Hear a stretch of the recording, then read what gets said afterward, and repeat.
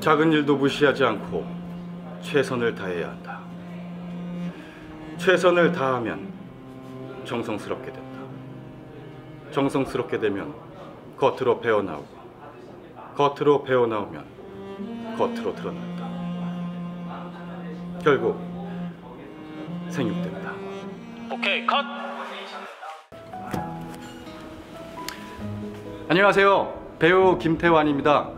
어, 다사다난했던 한 해가 지나고 2018년 무술년이 다가왔습니다. 한 해 동안 고생했던 땀방울들이 올해는 큰 복으로 다가올 수 있게 저 배우 김태환이 열심히 응원하겠습니다. 새해 복 많이 받으세요.